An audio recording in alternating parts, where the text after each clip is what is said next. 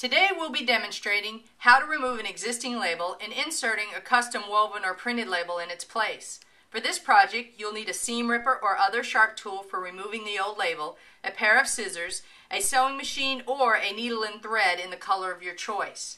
The first step is to remove the existing label.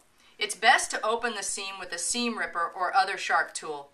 Be very careful not to cut yourself or the material. You only want to cut each stitch that holds the label in place and make sure the opening is at least wide enough to fit your new label.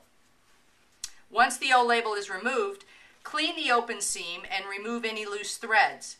The garment is now ready for the new label.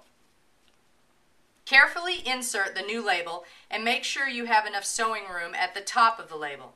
Also make sure the label is evenly lined up in the proper position to be permanently sewn in.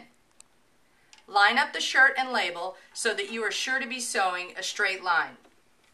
Use the thread color of your choice or consider a clear polyester thread so you don't have to worry about color matching.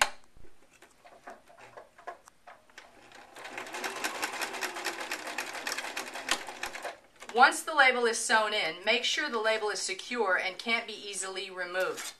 You may want to even double stitch for extra security. We hope this video has been helpful. Please visit our website at www.rapidtags.com. Thank you.